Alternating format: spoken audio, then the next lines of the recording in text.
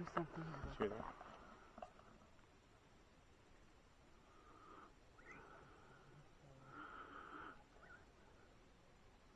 That? Uh?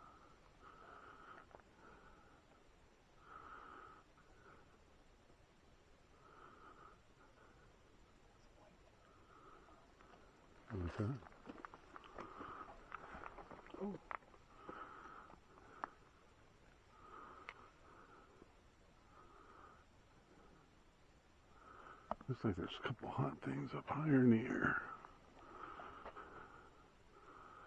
Directly in front of him. Take the lead so you can tell us what you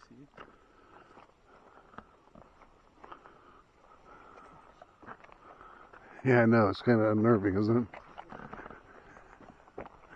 Did you hear by chance? Huh? Did you hear by chance? Uh, something, uh, just sticks breaking. Or something being stuck on. Did you hear it again?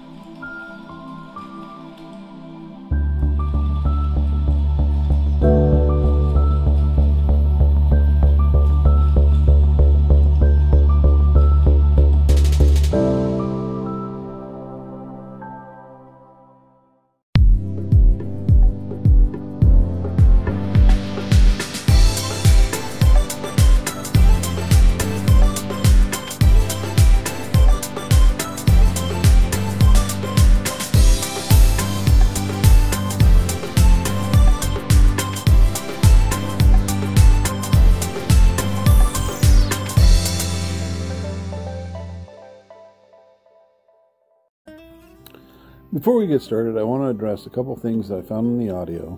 Uh, one being that you know I found some fox bark, so we do have foxes uh, in the woods with us.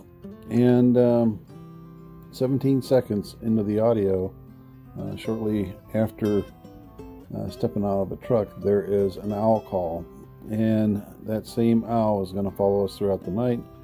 And I misidentified it as a barn owl. Uh, what it is, in fact, is a juvenile barred owl. Uh, juvenile owls often sound much different from their parents, and occasionally uh, the females and males will sound different from each other. And uh, what threw me off about it is that, you know, I had expected that the juveniles um, had all grown up by then, um, but, you know, in hindsight, what we're talking about is a life cycle thing, where the farther north you go, the later in the year uh, things like mating occur. Uh, it happens with fish, it happens with uh, mammals. Um, so, down in Ohio, we have a much earlier uh, barred owl mating season than British Columbia, and Florida has a much earlier barred owl mating season than Ohio. And that's true for the fish spawn. The fish spawn earlier down south in Florida than what they do in Ohio and probably British Columbia. Uh, and it is true for deer, same thing. And, you know, if you, a good example would be your crappie fishermen. Uh, there are people who literally travel up the United States um, and crappie as a crappie spawn uh, goes about. So, uh, why did I find it interesting to, you know, correct myself and, you know, let everybody know? Well, it's because the guys and our friends up there in British Columbia, uh, if they take any port reports um, in the near future after July 5th, well, they're going to, well, let's put it this way. If they have reports of Bigfoot like screams, most likely it's going to be the juveniles either getting chased off by their parents or the juveniles are finding their voice. And it's going to sound a lot like this right here. Of Of course, I don't have the volume up, so let's turn the volume up so you can hear it.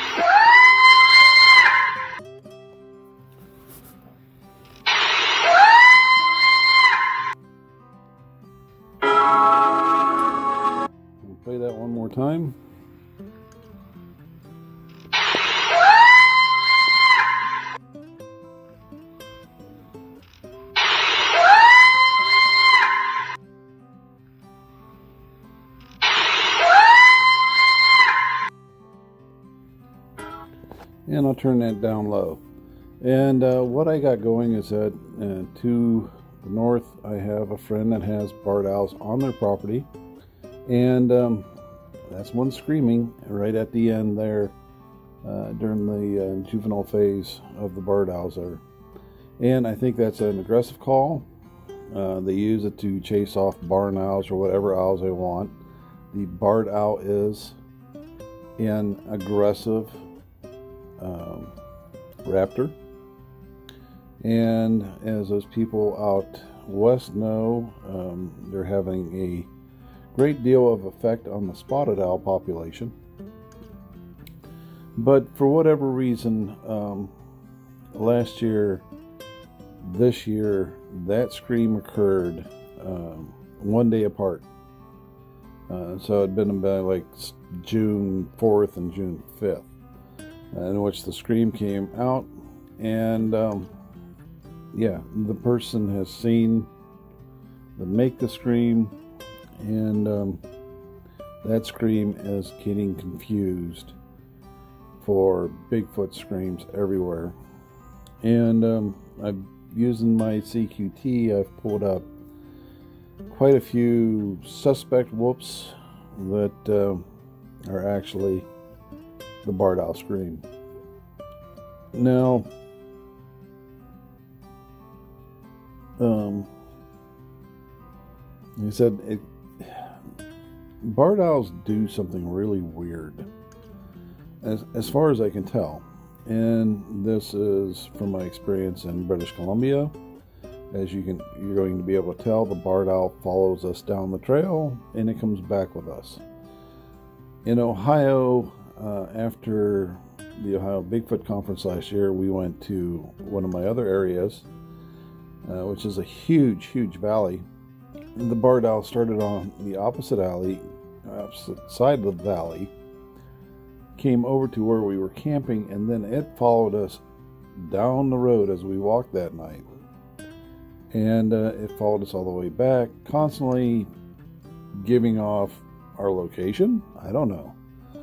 But, uh, and then it happened again in West Virginia. Um, we left the girls on one ridge. Uh, me and BF Bud went over to the other ridge. Two barred owls followed us and started giving off uh, our location again. It seems kind of weird. I don't know if the lights are attracting them or attracting something they like to eat uh, down in Florida. They were dive bombing me. And um, like I said, because I have the helmet cam and I have the IR light and everything, I'm I caught this happening. Uh, at one point, the barred owl was one barred owl was so close I just saw it. Uh, it's just an eyeball go past. But uh, yeah, I think these little well, they're not that little compared to other owls but, um, you know, if you don't have IR or if you don't have night vision, you probably wouldn't know that these things are flying about you as you're moving along in the dark. And uh, if they give off that aggressive call, like it shows right there in that CQT, um, you could easily confuse that for being an unknown primate.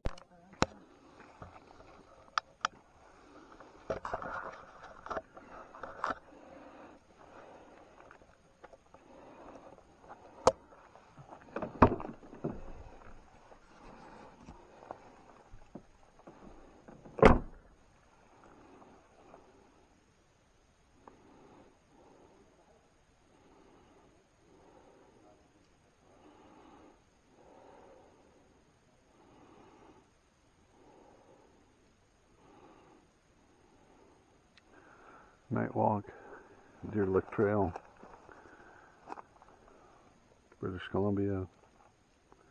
Time uncertain. Here we go.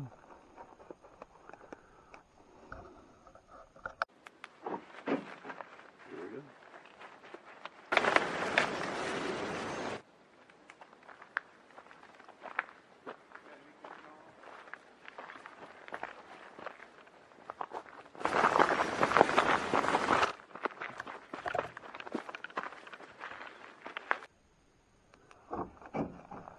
Here we go.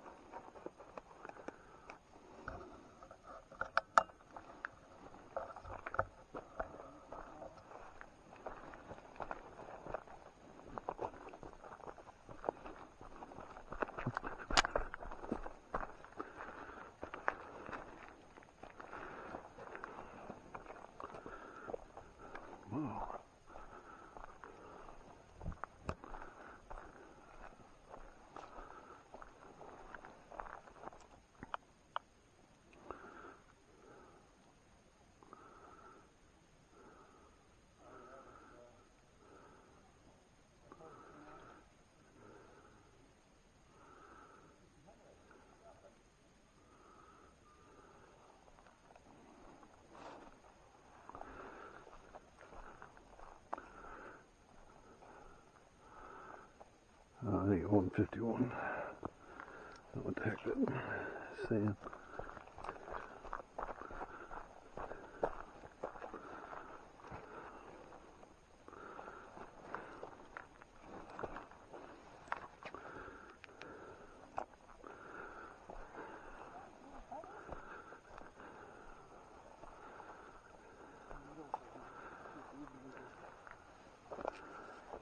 Hey,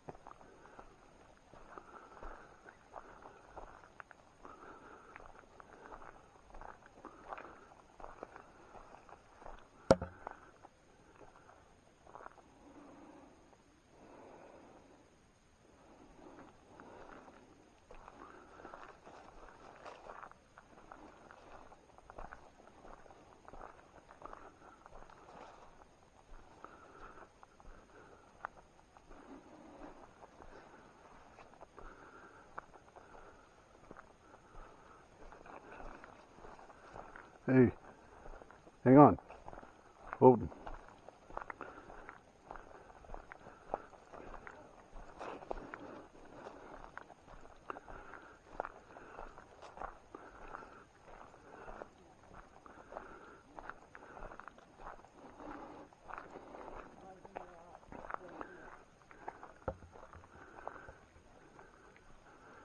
Hey, Nikki. You guys go ahead and stick together. I gotta make a trip back to the truck. Uh-oh. What'd you forget? My backpack, the other film. Backpack. You guys go ahead and keep on going. I'll, Okay. I'll be all right. Okay. Well, do we do we have radios? I got mine. I do not have one. I do Uh. not have one. We got phones. Well, No, I don't. okay. Uh, We'll be all right. With me the first time I walked alone in the dark. There's no nowhere else to go. This, this is the only place we can be. Yeah. I can't. I can't wander off on this trail. Yeah, you two stay stick together. I'll be right back. I'll catch up with you. The other trail, is you never know what's there. you're gonna have to protect me, Nikki. I'll of beat 'em assassination. up. All right, man. Good luck. All right. I'll be. b- I'll catch up with you. If we attack that Bigfoot, bring him on camera, and we'll name it Pussy Scout. okay.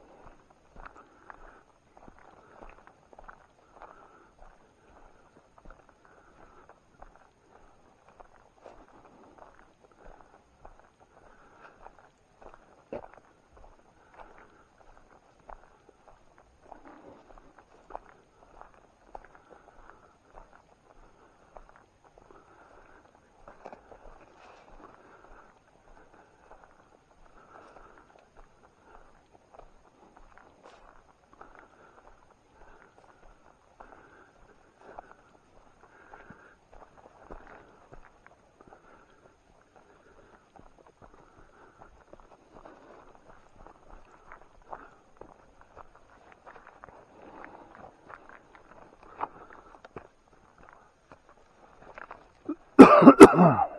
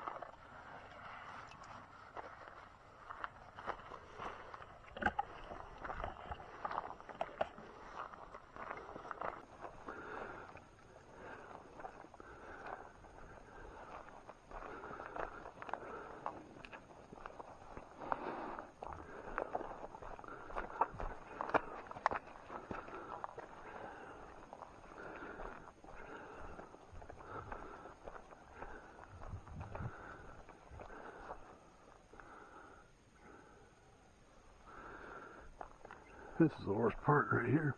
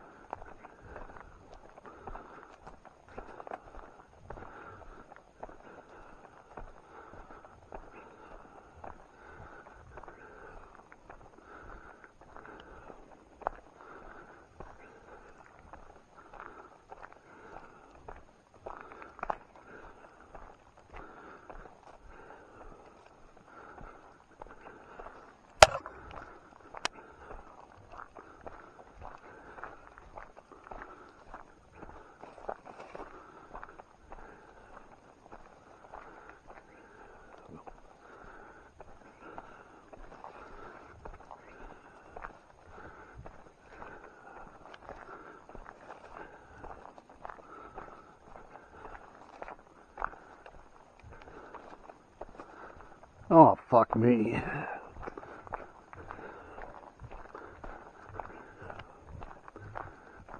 I like this feeling.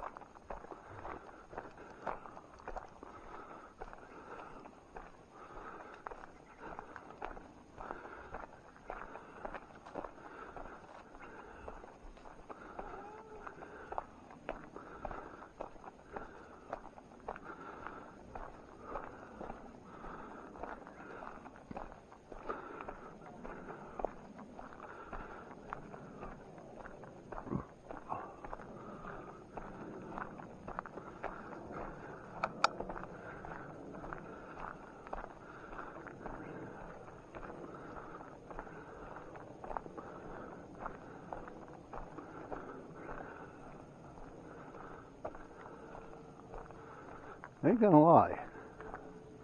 That's not a very comfortable feeling. Going back. Going back wasn't bad. Catching up's like, ooh. How far did they go? We waited.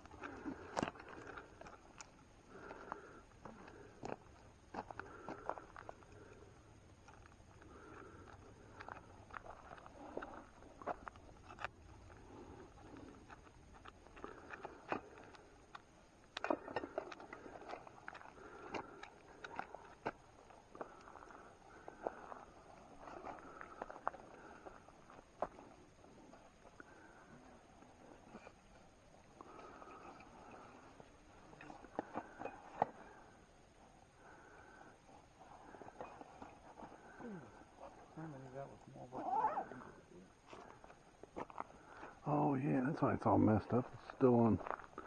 I'm like, I'm looking at the time. I'm like, it ain't two o'clock in the freaking morning.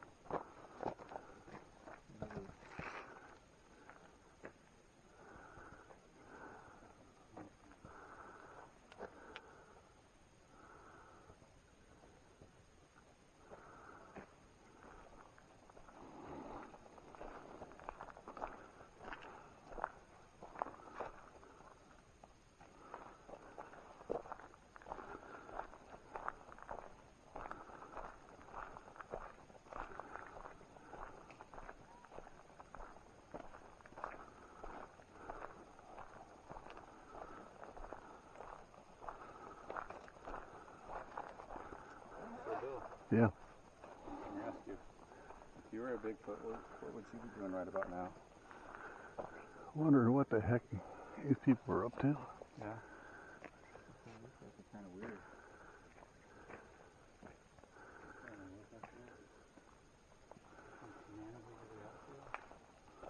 See, I can see during the day, I'm hanging out.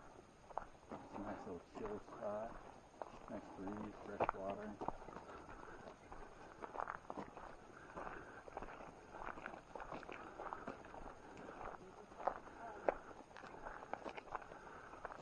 That's That- emergency plan A.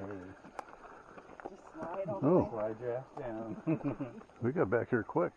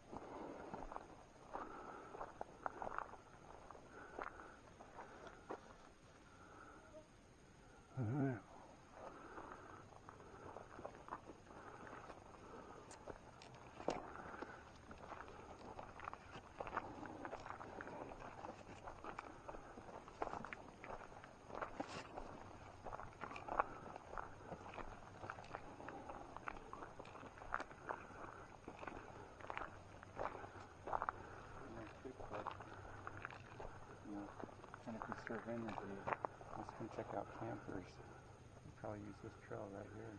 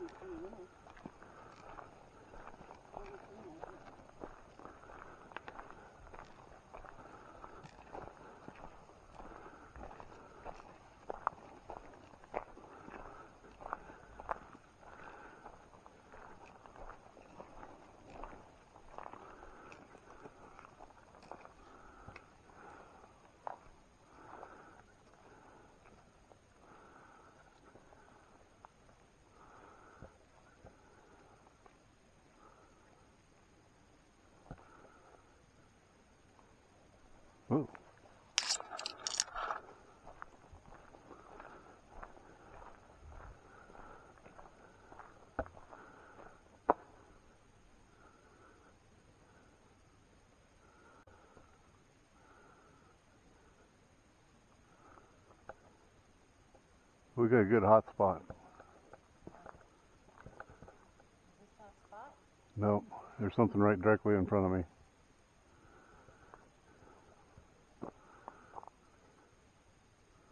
No, what?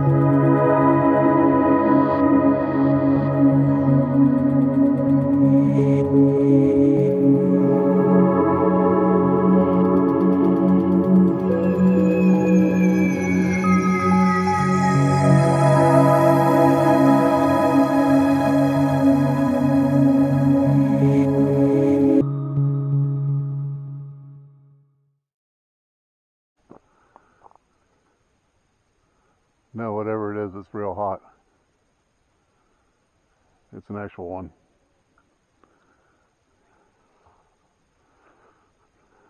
I'll light it up. Again, maybe I won't.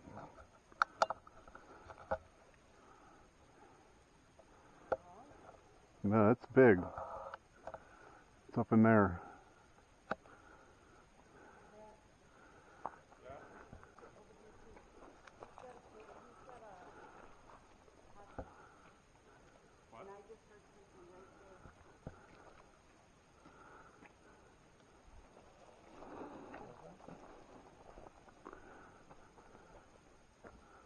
Probably an animal, but he's got a heat signature right there.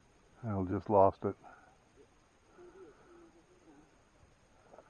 Could have been a deer. It looked like it was uh, elongated.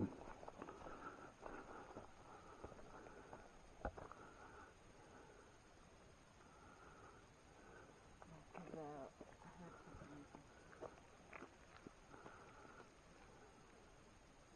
You should, uh, see what happens, huh? You want to hang out here for a second? Um, let's go. It's going that way. It's going forward.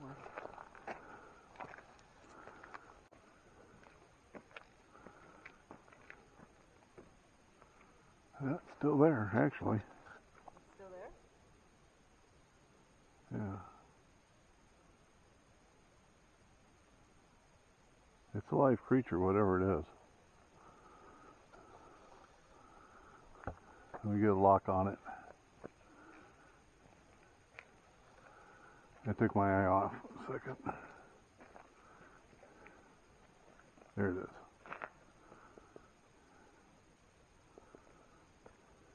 No, that's that's a good return.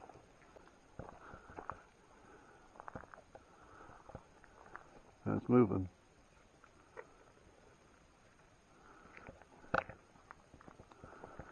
Can we throw a light up there? Uh, You can sneak over here to the left here a little bit more. Uh, yeah, it's moved. I got a feeling it's. I'm gonna light it up again here. Uh, this one.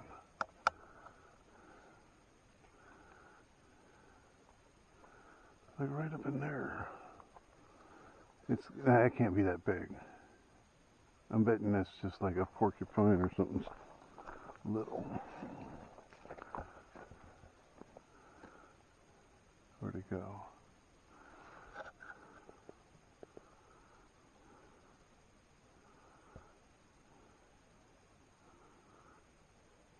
Yeah, I don't think it's anything other than maybe a small animal. Ooh, man, that blind you.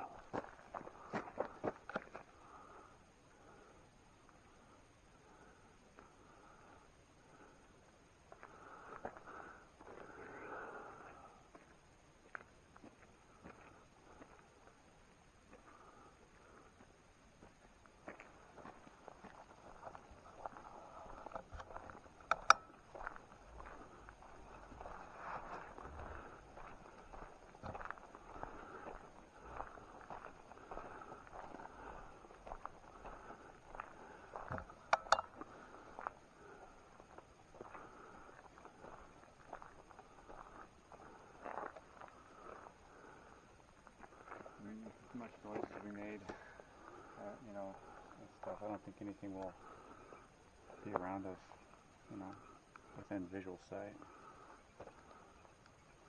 I scared a lot of stuff away. I was just curious.